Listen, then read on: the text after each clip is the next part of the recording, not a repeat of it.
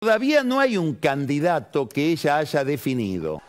A ver, ¿quién? Más aún, gente muy cercana a ella sigue insistiendo en que Cristina Kirchner debe ser la candidata, la vicepresidenta, que está pensando la elección nacional en términos bonaerenses. Por lo tanto, lo primero que hay que encontrar es un candidato a presidente que gane no la nación, sino la provincia de Buenos Aires, y que con ese triunfo arrastre al resto de la lista. Ahí es donde aparece la disputa entre Guado de Pedro, Massa, y no una disputa, pero la inclusión en esta película de Axel Kisilov. Si el candidato a presidente es Massa, Yoli, no hay quien lo baje, ni siquiera Cristina.